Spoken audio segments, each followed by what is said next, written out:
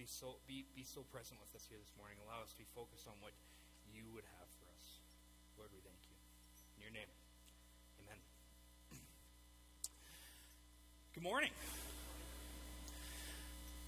Uh, my is Josh. I, I have the privilege and joy of being a youth and young pastor here at Sturgeon Alliance. Um, and, and in being a youth pastor and, and being in youth ministry for, for any amount of time, um, come to the conclusion that student obedience comes rather easy when they're motivated by what they'll benefit from. So, for instance, our Ignite Junior Student Ministry. It's our grade. It's for, it's for our grade five, six, seven students, and they they're a great bunch of students. I love them. Our leaders love them, but they are wild. They are rambunctious. They are crazy. And and so, and so part of every Friday night we, we have a teaching time, and we ask them to, kind of focus up and listen as we, we dive into the Word. And sometimes asking politely works fine. But sometimes for grade 5, 6, 7 And so I, just recently, actually, a couple weeks ago, Dalton, one of our, our awesome Ignite leaders, to help motivate them to obedience, to, to focus up, he got up and was like, all right, you guys need to listen up and pay attention. If you don't want to pay attention, that's fine. But you're not going to get any snack later tonight. And a hush fell over the crowd. And there was silence, and they're there. They're motivated by, by they're, they'll obey because of what they're getting in return. They're like, oh, yeah, okay. Snacks, so be quiet. And, I- and I hope this isn't the case, but maybe that's the same for some of you at your jobs. You're, you're motivated based on, oh, I'm going to get paid, so I'm going to obey what my boss is saying. Yeah. Um, maybe you're only motivated uh, to do the task at hand if it makes sense to you. So most of you know I'm a big Star Wars fan. Big Star Wars movie just came out this Friday. So here's a picture of Star Trek. So this uh, Captain Kirk and his first officer, Mr. Spock. And Spock, he is incredibly loyal, but he is incredibly logically thinking. If the command given to him from his captain doesn't make any sense or is illogical, he'll shut it down. He's not going to be motivated to follow through, and he won't obey what his captain's asking of him. And I know this is exactly how some of you function. I know this is how I function. How many remember last week, uh, Pastor Brent came up here with the, the singing fish? One of you? Yeah, a couple of you. Good, good, good. So here this fish is. Uh, was sitting in the office on the next desk all week with this that sticky note says "Press for Joy." And so last week, Pastor Brent suggested, like, to, to, to all you guys, like, wouldn't it wouldn't it be a good idea for Pastor Josh to come up here and, and just be wearing the fish around his neck, and people can come and just press it and for Christmas joy? Okay. So Pastor Brent, though, he's, he's a pretty commanding guy. So he comes to my office this week.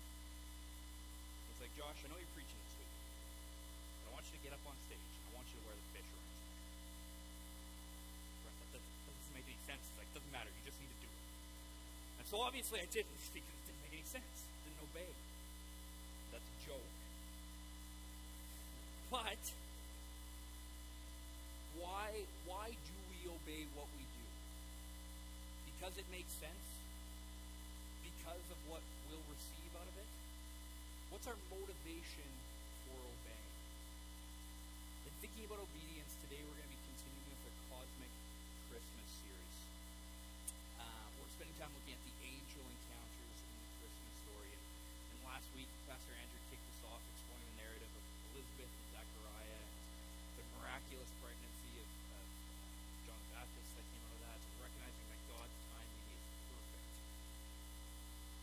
the cosmic of heaven and the Almighty God colliding with the common of earth, of our world. And this morning we're going to see that clearly in the common, nothing, backwater, or reputation, town of Nazareth. This morning we're going to be looking at two different passages. Uh, but to start, I want you to open up your Bibles to Luke 1, starting in verse 26, right where Pastor Andrew left off last week. So if you don't have a Bible, you can grab one on the floor in front of you. And the blue Bible is in page 878. If you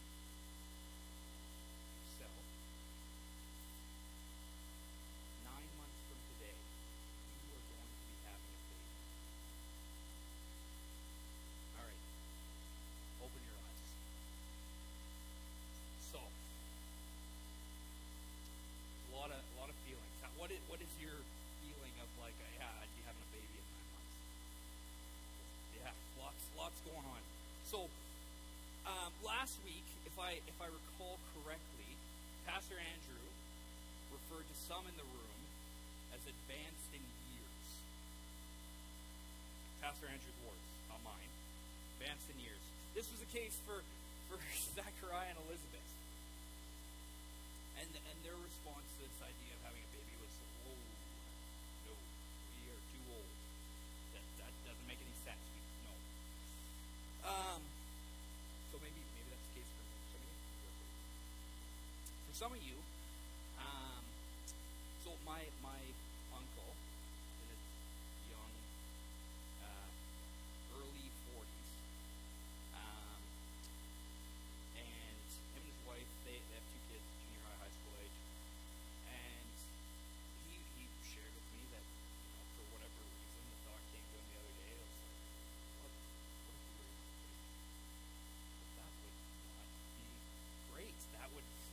time.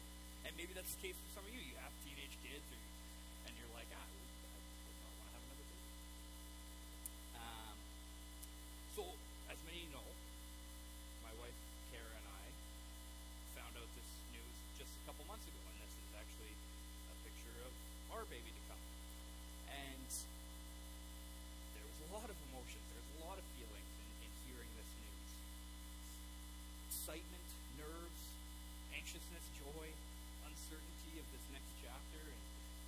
ultimately thanksgiving to God. And that, that was, you know, that was our response. Maybe some of you, that would be your response in hearing. And now for some of you,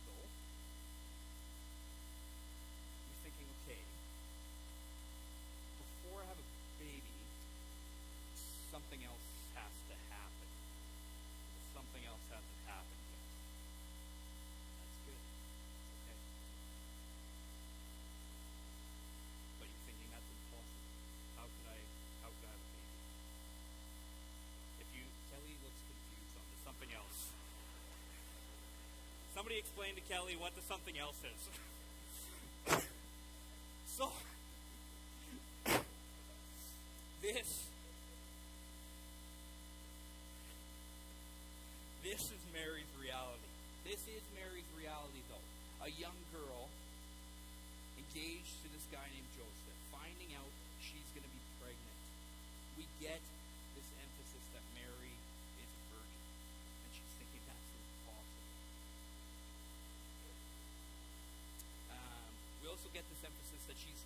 pledged to be married. Other translations would say betrothed.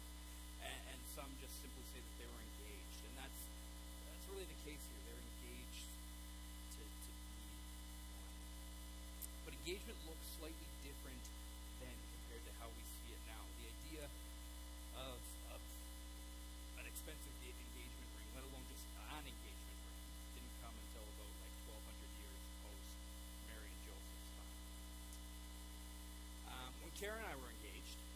no particular reason. I would refer to her as my pre wife.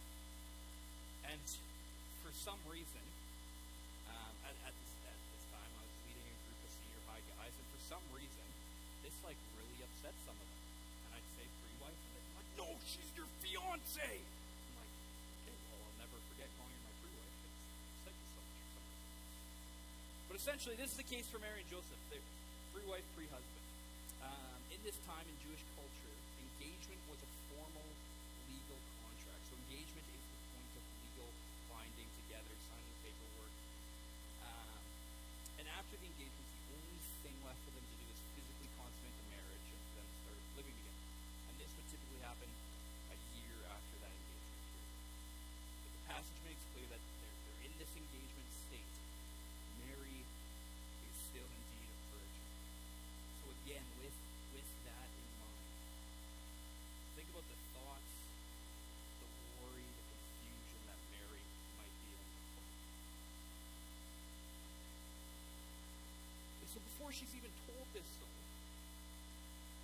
Gabriel appears, an angel appears to her, and says, Greetings, you are highly favored. The Lord is with you. And even by this greeting, Mary's confused. She's thinking to herself, I'm, I'm nobody. No one. I'm nothing from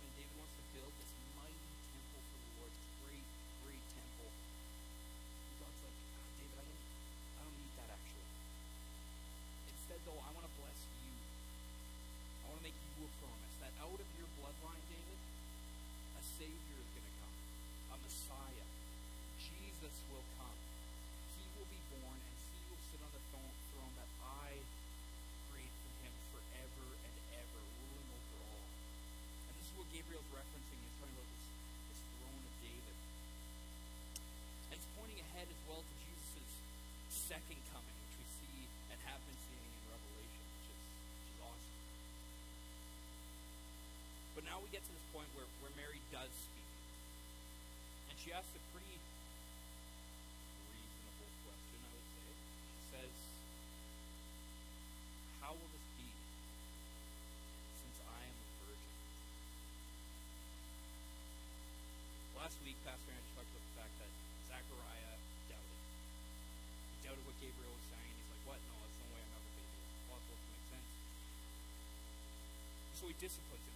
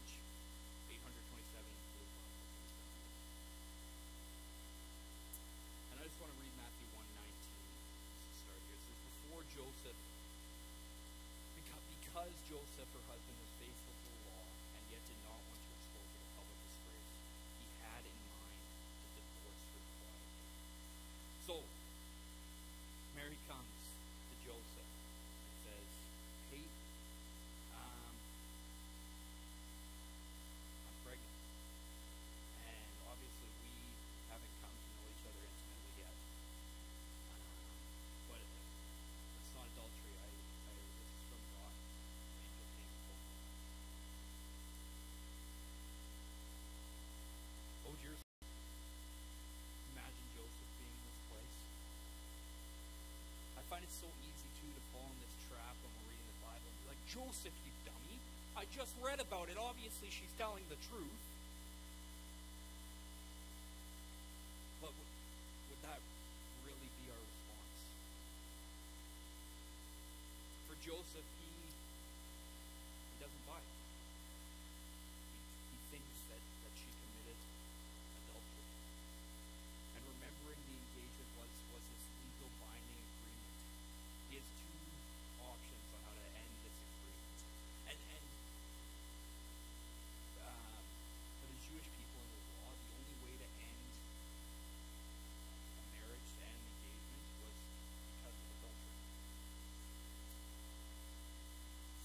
option is.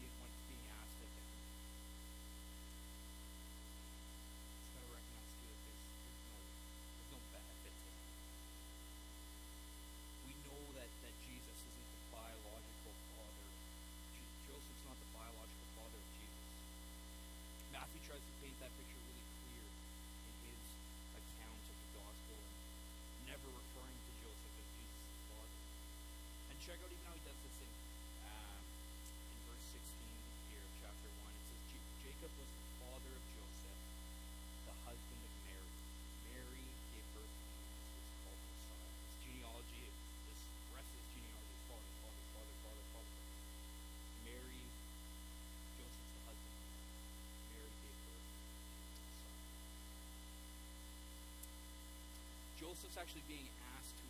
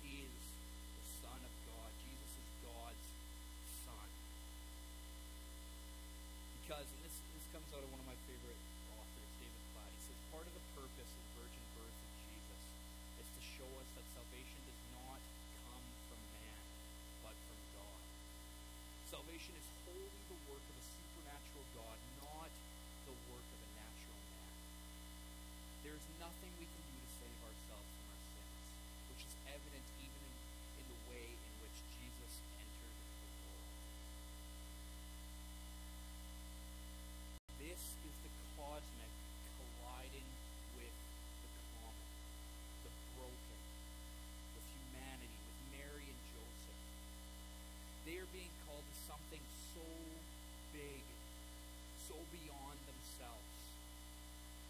Something that'll benefit them in, in no way. May actually bring a lot of immediate pain, separation, hurt from those around them. They ended up being hunted. I'm sure it made no sense to them.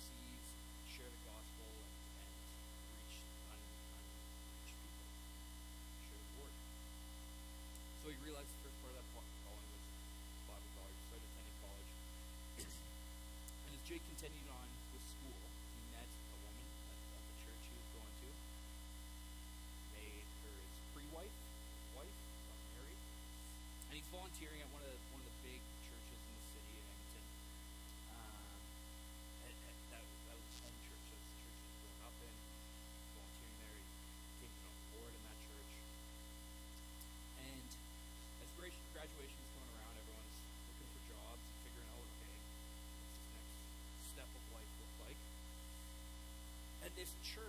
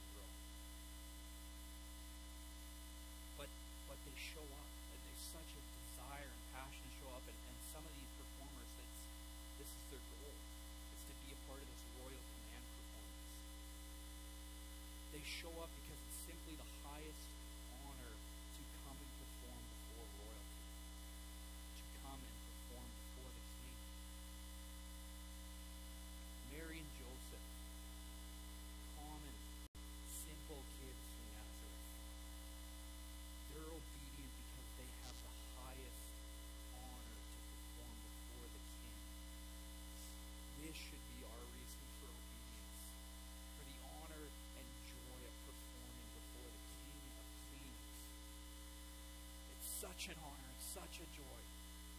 Not what we're going to benefit, not because it makes sense,